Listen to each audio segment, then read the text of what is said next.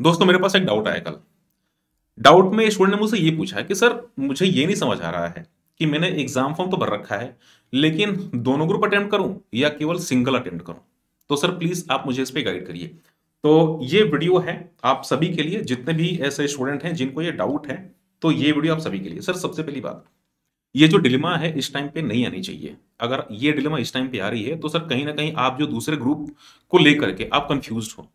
अगर आपके मन में ये डिलेमा है कि मैं दोनों ही ग्रुप क्लियर इस टाइम पे नहीं कर पाऊँगा sir this is deciding time और आपको ये डिसाइड करना पड़ेगा, कुछ ना कुछ आपको डिसाइड करना पड़ेगा। मेरे हिसाब से, मेरे हिसाब से अगर मैं आपकी जगह पे होता तो मैं एक ग्रुप को स्किप कर देता। जो सेकंड ग्रुप मैंने सोच रखा है, मैं उसको स्किप कर देता और मैं केवल ओनली वन ग्रुप में फोकस करता। जो पहला ग्रुप है, उस पर मैं केवल फोकस करता। सर उस पर फोकस करने का फ़ायदा क्या है?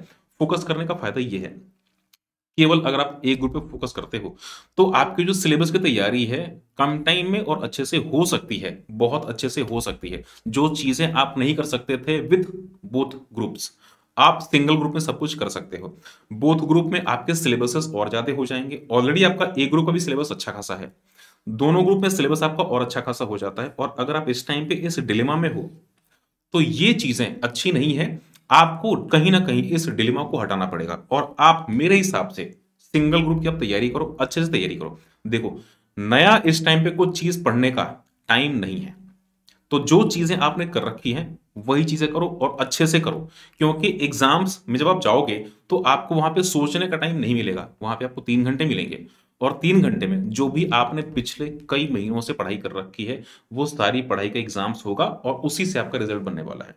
तो जो तैयारी आपकी करनी है, बहुत ही अच्छे से करो। प्रीवियस अटेम्प्ट के पेपर्स आप सॉल्व करिए। मॉक टेस्ट पेपर्स देने का टाइम है। इस टाइम पे मॉक टेस्ट पेपर्स आप ज़रूर अटेम्प्ट करिए। सर, इस टाइम पे अगर आप मॉक टेस्ट पेपर्स नहीं अटेम्प्ट कर रहे हैं, बहुत बड़ी गलती कर रहे हैं। सर, बहुत बड़ी गलती कर रहे हैं। अटेम्प्ट करिए मॉक टेस्ट पेपर्स, चाहे इंस्टीट्यूट के हों, चाहे कहीं से भी, जहाँ से भी आपको अच्छा लगता है, मॉक टेस्ट पेपर्स आप बिल्कुल आप अटेम्प्ट कर सकते हैं। मॉक टेस्ट पेपर्स अटेम्प्ट करने का फ़ायदा बहुत है। मॉक टेस्ट पेपर्स आपको पास करा सकता है। मॉक टेस्ट पेपर्स आप अभी से आप देना शुरू करो। मॉक टेस्ट पेपर्स आप अटेम्प्ट करना शुरू करोगे, आपको आपकी खुद की कमियाँ पता चलेंगी। आपको पता चलेगा कि कौन सी एरियाज़ हैं जो कि मेरी वीक हैं। मुझे नहीं पता है। तो वो एरियाज़ आप इंप्रूव करना शुरू करोगे। कौन सी एरियाज़ आप ऑलरेडी कवर कर चुके हो, वो एरिया ठीक है। वो तो ठीक है ही, कोई दिक्कत नहीं। उसमें आप लिख ही लोगे। लेकिन वो जो एरियाज़ जो कि अच्छी नहीं है, जिसमें आपको इंप्रूवमेंट की ज़रूरत है वो आपको पता कराएगा मॉक टेस्ट पेपर्स केवल पढ़ने से नहीं हो पाएगा, आपको लिख करके मॉक टेस्ट पेपर सॉल्व करना पड़ेगा। मॉक टेस्ट पेपर्स आप अटेम्प्ट करिए मॉक टेस्ट पेपर्स आपको बिल्कुल पास कराएगा। अगर मैं पर्सनली बताऊँ, ऐसे बहुत सारे स्टूडेंट्स मेरे पास मैसेज करते हैं कि, सर, मुझे तैयारी तो बहुत अच्छी थी, मेरी तैयारी बहुत अच्छी थी, लेकिन दिक्कत क्या हुई, मेरे नंबर नहीं आए। मैं उनको एक ही बात बोलता हूँ, सर, आपने रिटर्न प्रैक्टिस नहीं करी, आपने मॉक टेस्ट पेपर सॉल्व नहीं करे। मॉक टेस्ट पेपर सॉल्व करना बहुत इंपॉर्टेंट है। इसलिए मैं बार बार फोकस करके चिल्ला चिल्ला के बोल रहा हूँ कि मॉक टेस्ट पेपर से सॉल्व करिए। बहुत ज़्यादा इंप्रूवमेंट होने वाली है आपके एग्ज़ाम्स में। दूसरी बात प्रीवियस अटेम्प्ट के पेपर्स उसको आप ज़रूर देखिए। कभी आप ये गलती मत करिएगा कि आप पेपर्स देकर के ना जाओ। उससे क्या पता चलेगा प्रीवियस पेपर्स कैसे आ रहे हैं? एग्ज़ाम्स में कौन कौन सी चीज़ें आने के चांसेस ज़्यादा हो सकते हैं? तो इंपॉर्टेंट टॉपिक्स कौन से आपको टच करना है, वो आपको पता चल जाएगा। आरटीपीस बिल्कुल आप सॉल्व करिए। इतनी चीज़ें आपको बिल्कुल करनी करनी है साथ में। आपकी जो रिवीजन है, कम से कम तीन चार बार रिवीजन तो आप बिल्कुल करिए।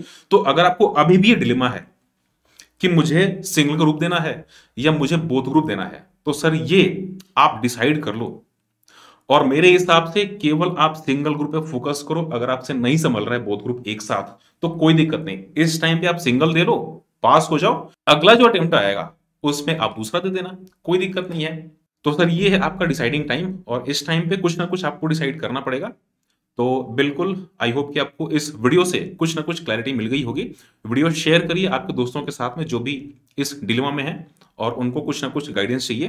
तो वीडियो शेयर करिए एंड यस अगर आप नए हैं सब्सक्राइब करिए and hit the bell icon मिलते हैं अगली वीडियो तब तक के लिए टेक बाय